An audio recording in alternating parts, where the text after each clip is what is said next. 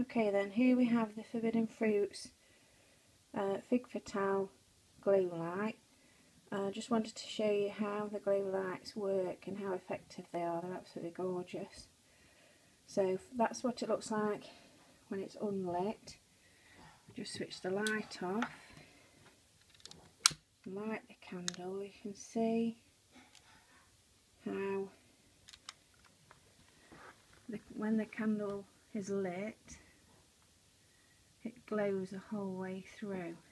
And this is because of the um, iridescent particles that reflect the light all the way through the candle.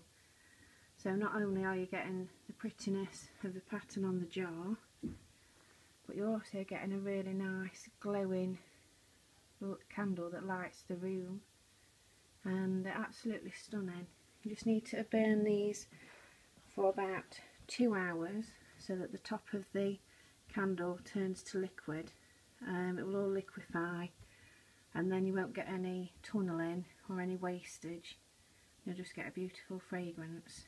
So that's the Fig Fatale Glolite.